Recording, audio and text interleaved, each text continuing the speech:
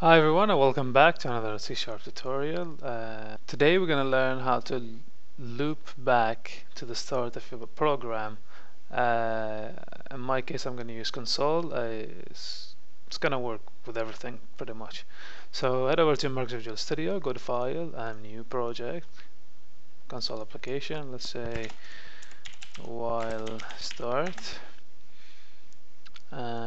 write our code so we'll need a bool.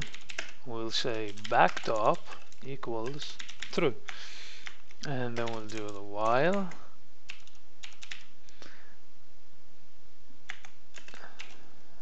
Backtop and then we put our code in the in this. And then here we're gonna say backtop equals false.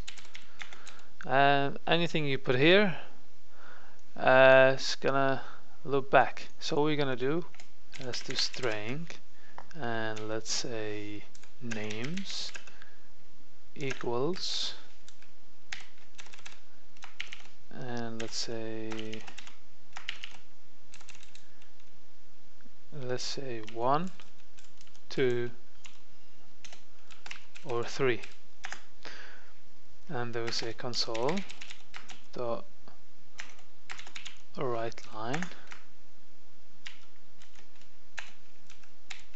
and we're going to say type any number and then what we're to do we're to write our string we say string console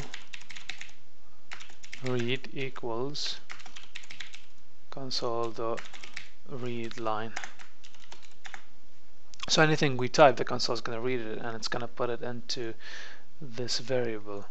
And then we're to say int x equals array dot index of and we'll put names and then go on read.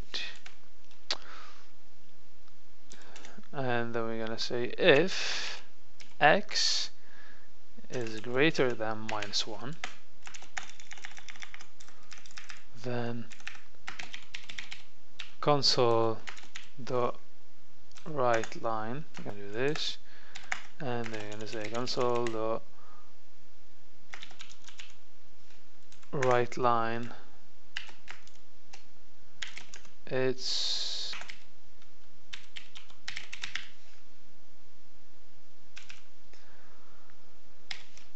Then what we're going to do, we're going to say else console dot write line. Shows nothing.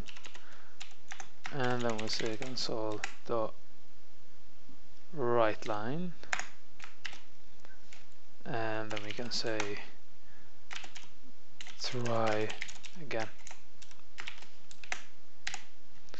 So this pretty much the code. So basically what's going to happen now um, the console is going to say type a number we're going to type a number. If this number is in our array it's going to say it's available and then it's going to loop back. If not it's going to say try again and it's going to loop back. So save it